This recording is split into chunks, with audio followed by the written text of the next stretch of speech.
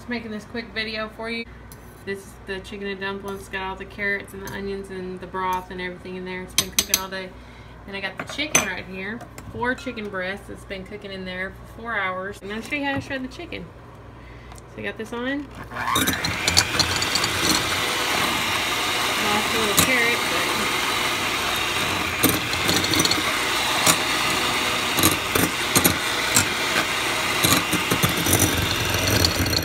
chicken's really hot.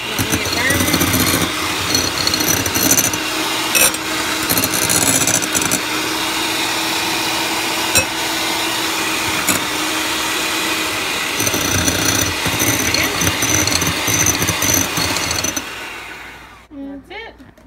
Chicken is shredded that fast.